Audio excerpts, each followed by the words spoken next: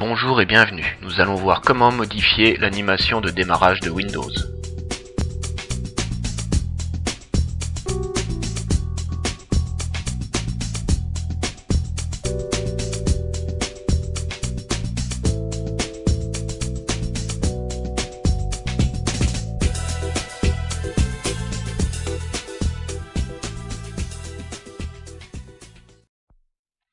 Qu'est-ce qu'un boot screen? Un boot screen, en français, écran de démarrage, ressemble à un GIF, une image animée.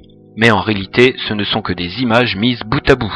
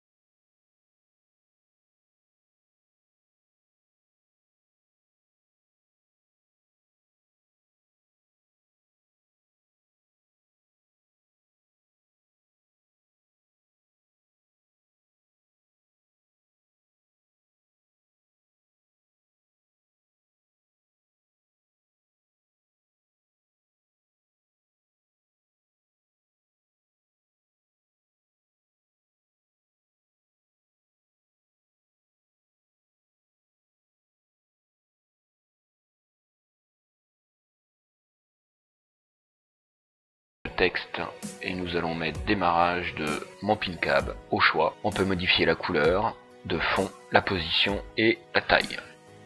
Nous allons passer à l'onglet Resuming qui veut dire sortie de veille. Dans l'animation, donc nous avons SAM donc par défaut, image statique ou animation, background couleur de fond,